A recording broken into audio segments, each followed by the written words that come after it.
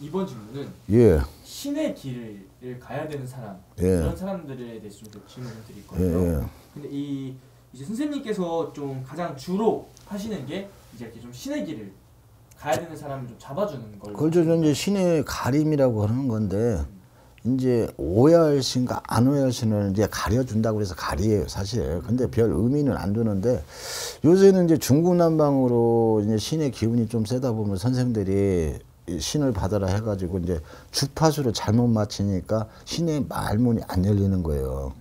우리가 그렇게 응, 응 하고 있으면 말문 닫힌 거고 나같이 이렇게 떠벌떠벌 하면 말문 열렸다고 하잖아요. 네. 그러니까 이 점상이 안 좋을 때 이렇게 주저주저 해야 돼. 네.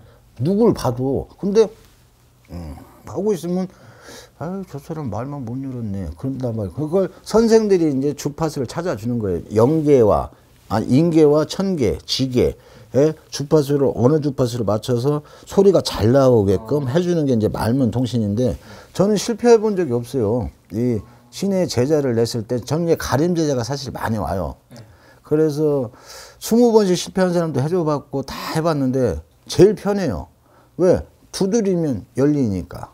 어? 그래서 그 사람과 그 신과 어, 그 인계의 연결고리만 시켜주면 돼요. 그래서 저는 이제 먼저 무조건 가는 건 아니고 시험을 다 봐요. 그 전에. 그래서 뭐 이 손에 있는 거 신을 청해갖고 이게 뭐냐 속 안에 있는 것까지 다 맞춰야 돼.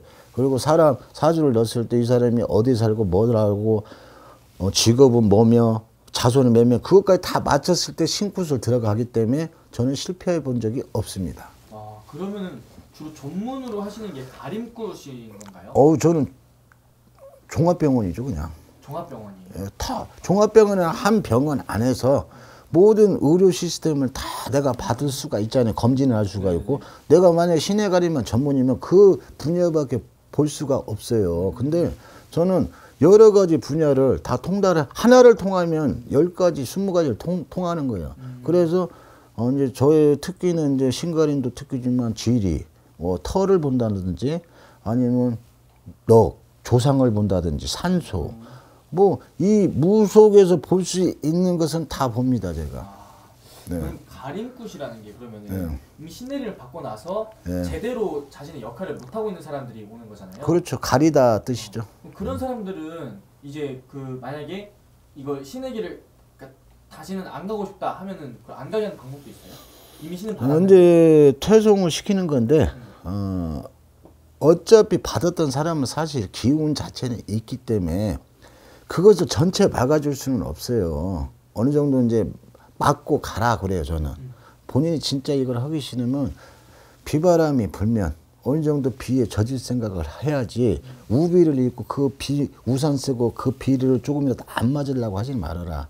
어? 그러니까 본인이 견딜 수 있고 참을 수 있으면 치워라. 10% 정도는 맞는다라고 그냥 얘기를 해요. 근데 저 같은 경우는 오신 신명을 어 뭐 보내준다 그런 말은 안 해요. 왜 이분들이 이 자손이 나한테 왔을 때는 그분들이 이 자손을 끌고 온 거거든 사실 자기네들을 어, 해줄 수 있는 사람한테 그렇기 때문에 이 사람들은 자기 자손한테 올라오고 어, 보, 자기를 알아줄 수 있는 선생을 찾아서 왔는데 내가 뜬금없이 예 치워. 인간 마음에서 치워달라고 한다고. 어, 그럼 내돈 받고 치워줄게요. 그건 아니 저는 그래서 그런 짓은 안 해요 사실. 음, 그러면은 이렇게 좀 가림굿, 좀 신내를 받고 나서 가림굿을 해야 되는 사람은 어떤 사람들이 해야 되는 거예요? 이제 신의 말면 저처럼 이렇게 쭈쭈쭈쭈 하면 되는데 예. 아무 이제 느낌이 없죠. 이게 이제 애동제자들도 많이 이제 이 길을 가는 사람들을 얘기도 해보고 산에서 있다 보니까 많이 했지만 일단 점상에 앉으면 뭔가라도 나와야 하는데 안 나온다는 거죠. 그러니까 이제 그런 사람들이 이제 말문을 못 열었다라고 하는데 그러니까 이제 이런 사람들이 한 번, 두 번, 세 번 그러다 선생 또 잘못 만나면 집 날리고 빚지고 그래서 저한테 오시면 한 방에 한 방. 한방. 한 방에 터쳐요. 그래서 안 터치면 난 돈 줘요. 아, 왜? 어차피 심쿠스도 바로 안 들어가잖아요. 이 테스트 과정을 거치잖아요. 계속. 그래서 여기서 내가 만족하지 못할 만큼의 점수가 나오지 않고 이 사람도 자기가 뭔가 못 느끼면 안 해야죠. 그 kursu 중단해야 돼. 그때는. 제가 실수한 것 같습니다. 가지고 내려가세요.